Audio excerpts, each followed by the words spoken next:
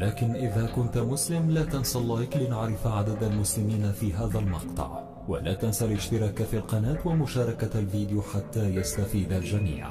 إذا كنت مسلما ادعمنا بالإعجاب لمعرفة عدد المسلمين في هذا الفيديو. إذا كنت مسلما ادعمنا بالإعجاب لمعرفة عدد المسلمين في هذا الفيديو. إذا كنت مسلما ادعمنا بالإعجاب لمعرفة عدد المسلمين في هذا الفيديو. عن سهل بن سعد رضي الله عنه.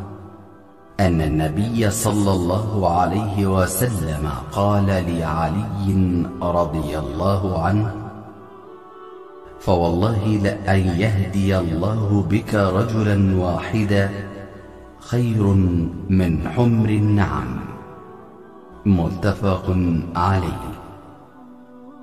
عن عبد الله بن عمرو بن العاص رضي الله عنهما أن النبي صلى الله عليه وسلم قال بلغوا عني ولو آية وحدثوا عن بني إسرائيل ولا حرج ومن كذب علي متعمدا فليتبوأ مقعده من النار. رواه البخاري. عن أبي هريرة رضي الله عنه أن رسول الله صلى الله عليه وسلم قال ومن سلك طريقا يلتمس فيه علما سهل الله له به طريقا إلى الجنة. رواه مسلم. عن أبي هريرة رضي الله عنه أن رسول الله صلى الله عليه وسلم قال من دعا إلى هدى كان له من الأجر مثل أجور من تبعه. لا ينقص ذلك من أجورهم شيئا. رواه مسلم.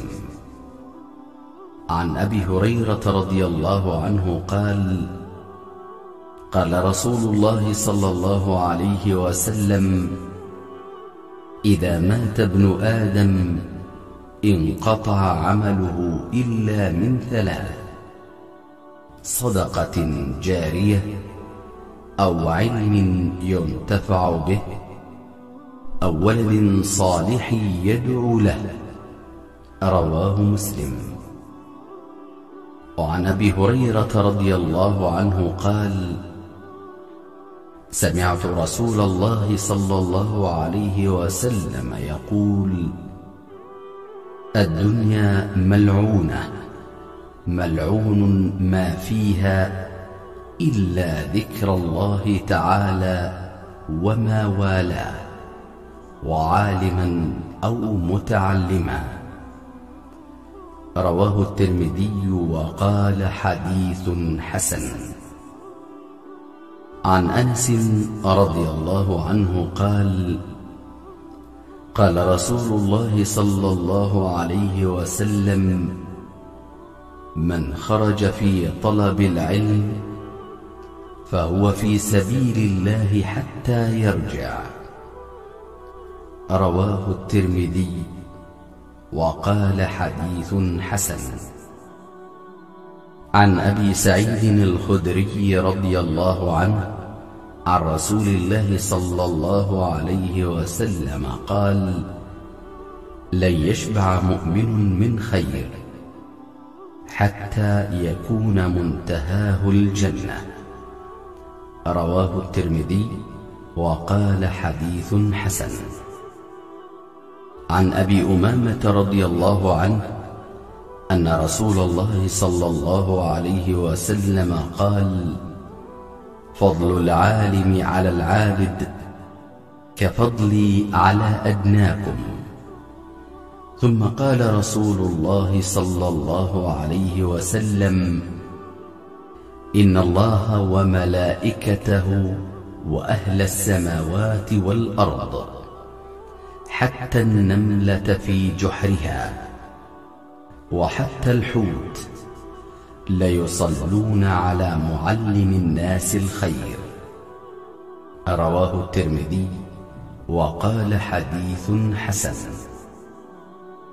عن أبي الدرداء رضي الله عنه قال سمعت رسول الله صلى الله عليه وسلم يقول من سلك طريقا يبتغي فيه علما سهل الله له طريقا إلى الجنة.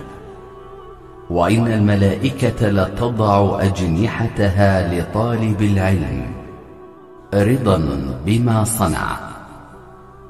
وإن العالم ليستغفر له من في السماوات والأرض حتى الحيتان في الماء. وفضل العالم على العابد كفضل القمر على سائر الكواكب. وإن العلماء ورثة الأنبياء وإن الأنبياء لم يورثوا دينارا ولا درهما وإنما ورثوا العلم. فمن أخذه أخذ بحظ وافر.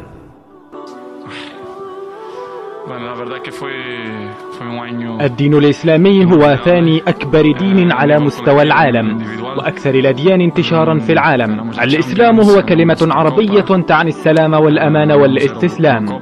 يعني أن المسلم هو من يستسلم لله وأي شخص من أي عرق يمكن أن يكون مسلما. وكلمة الإسلام تعني الخضوع لله. المسلم هو أي شخص يقدم حياته إلى الله.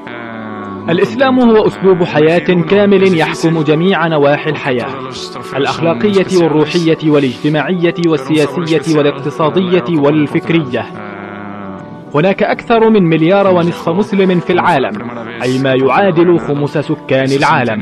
لذلك الإسلام دين عالمي وليس فقط يقتصر على دولة معينة أو لون أو عرق الإسلام هو الدين الأسرع نموا في العالم من خلال عدد التحويلات كل عام.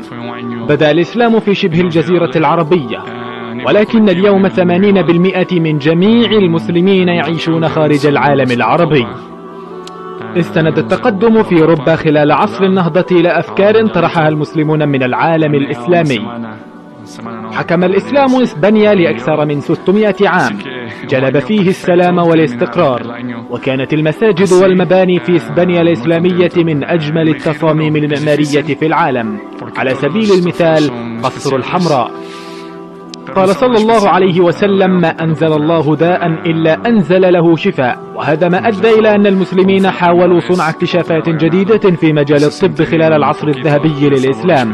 خلال هذه الفترة الزمنية كان العالم الإسلامي متقدم جدا في الطب.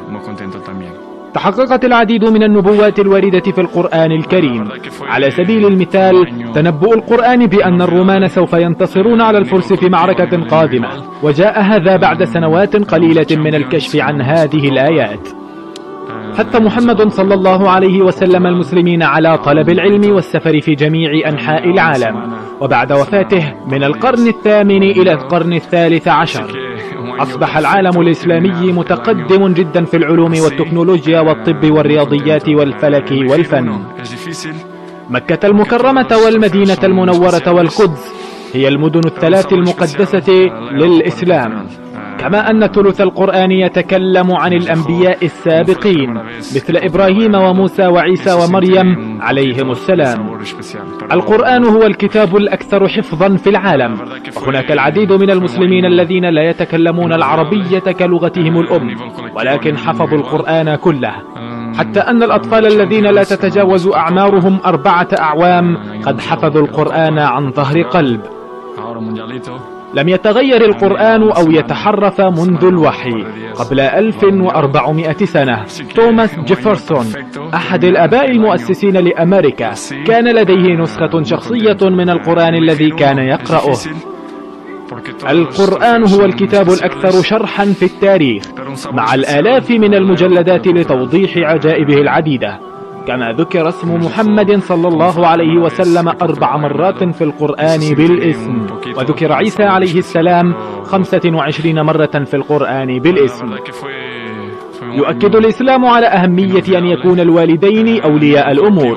في الواقع ذكر النبي صلى الله عليه وسلم أن بر الوالدين هو ثاني أكبر عمل محبوبا إلى الله. يعلمنا الإسلام أن نحسن إلى جيراننا مسلمين وغير مسلمين.